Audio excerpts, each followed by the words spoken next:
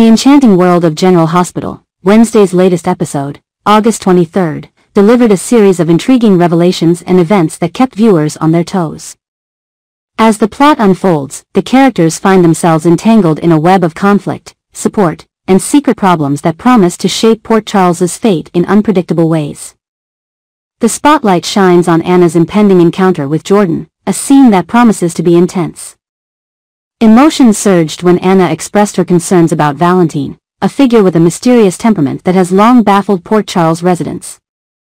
Jordan, whose ears were listening, extended a friendly embrace, offering to assist her in the ongoing investigation.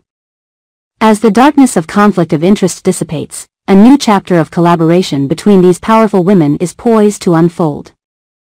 In an unexpected turn, Spencer emerges as a pillar of strength for Trina, a friend in need of solace. Spencer, standing by Trina's side and undaunted by her past struggles, showed enthusiastic support. As Spencer's guidance helps heal past wounds, the duo's friendship seems to blossom in the face of adversity. The grounds of the Ferncliff Psychiatric Institute echo with grief when Gladys, a figure known for his outspokenness, stumbles upon Sasha in a distraught mood.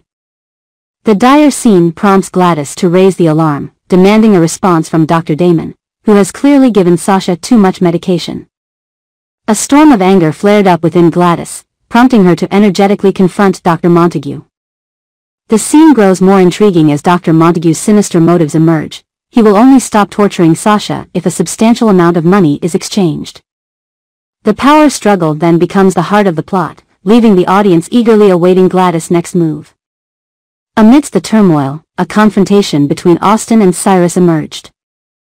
With the revelations Austin Mason answered to Cyrus, Austin is determined to break free from the shackles of slavery. Armed with a flash drive containing cryptic information, Austin stood his ground, asserting his worth beyond mere debt repayment. Tensions run high when Cyrus, a figure of evil power, makes it clear that Austin's journey to liberation will not be easy. Meanwhile, Carly's fears deepen, fueled by the dangerous situation Drew finds herself in. Drew's role in rescuing Cyrus drew a target on his back, a fact that didn't escape Carly's watchful eye. Behind the prison bars, dangerous enemies await Drew, eager to see him as an ally of Cyrus. As clouds of uncertainty gather, General Hospital hints at the possibility of terrible news awaiting Drew, setting the stage for an intriguing storyline. Felicia's quest for purpose takes center stage, a potential side episode.